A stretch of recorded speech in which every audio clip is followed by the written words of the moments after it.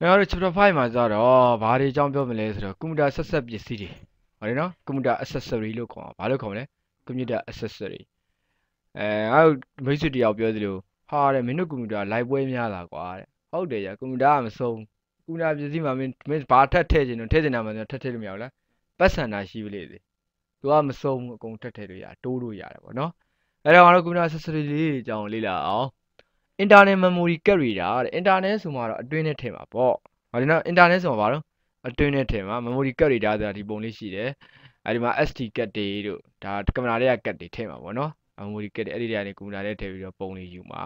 အဲ့ဒါကိုငါတို့ဘာလို့ခေါ်မလဲ carrier လို့ပဲအတူကောက်ခေါ်ကြပါတယ်ဘာလို့ခေါ်လဲ carrier အဲ carrier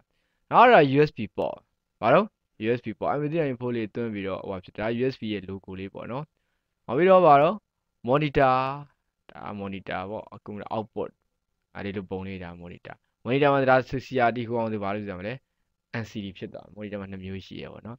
ဒါ keyboard ASDS ဆိုပြီးစတားရရရလေး keyboard ဒါလေး keyboard အားဒါ mouse လိုချင်တဲ့နေရာကိုတနေ့ရောက်ကြ mouse ကကွန်ပျူတာဟိုမှာ keyboard တွေပါတယ်ပြီးမှ mouse ကိုထွန်မိတာဟုတ်လား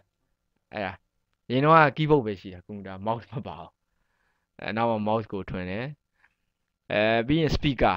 ဘာလို့ speaker အတန်လေးတန်လေးကြားမယ်တချင်းလေးနားထောင်နေနေဆိုရင်တော့ဒါ speaker လေးပါမှာပေါ့ကိုကပါကွန်ပျူတာကိုပြန်ပြောချင်တဲ့အတန်လေးပြန်သွင်းချင်နေဆိုရင်တော့ microphone ပေါ့စကားပြောဖုန်းလေးပါပေါ့နော်ဖုန်းလေးပါပါမယ်အော် printer printer စာရွက်တွေထုတ်မယ်ဓာတ်ပုံတွေထုတ်မယ် printer မလိုဘူးလားလိုတယ် webcam ဒါကကွန်ပျူတာကိုကိုကွန်ပျူတာကိုရဲ့မျက်နှာကိုဟိုဘက်မြင်ကျင်လို့ ဟိုဘက် internet တွေတုံးတဲ့အခါမှာချက်တင်ထိုင်တဲ့အခါမှာဟိုဘက်ရုပ်ဒီဘက်ရုပ်တွေမြင်ကျင်လို့ဘာလို့သုံးယူလို့လဲ webcam webcam ဆိုတာ web camera ပဲဘာလို့ web camera internet ပေါ် web ပေါ်ကနေတုံးတာဖြစ်တဲ့သူ့ကို web camera လို့ခေါ်တယ်အတူကောက်တော့ဘယ်လိုခေါ်တော့ webcam ကင်မရာပုံလေးတွေများသောအားဖြင့် webcam တွေကို internet ဆိုင်တွေမှာအများဆုံးတွေ့ရပါတယ်ဂိမ်းဆိုင်တွေမှာတော့မထားပါဘူးเนาะအဲဒါဘာလို့ခေါ်လဲ webcam webcam လို့ခေါ်တယ် ဟာ MP3 MP4 တော့ဟိုဘောဒီမှာ iPad လေးတွေသူတို့ကလေးတွေရင်းနှီးပါတယ်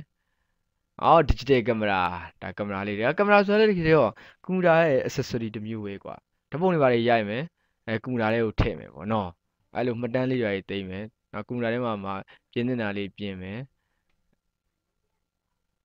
ထည့်တင်တာ background ချင်းတင်တာချိန်မယ်ဆိုတာပုံကောင်းကောင်းလေးထွက်လာမှာပေါ့အဲ့ဒါ digital camera လို့ခေါ်တယ်စီးပွားပြ digital camera တွေကတော့ Nikon ပေါ့နော် Nikon D40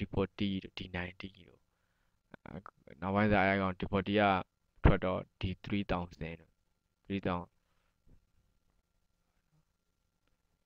နောက်တစ်ခါကျတော့ဘာလို့ scanner အဲ့တော့ဓာတ်ပုံစံနေစရင်တော့မရှိမရှိပစ္စည်းပေါ့ဗျာပုံဟောင်းတွေကိုဖတ်မယ်ဘာတွေကိုဖတ်မှာလဲပုံဟောင်းတွေဖတ်ပြီးတော့ကွန်ပျူတာထဲကိုထည့်ထားသည်ဘာဆက်တုံး scanner အဲ့ဒီဖတ်တာကတော့ scan ဖတ်တယ်လို့ခေါ်တယ်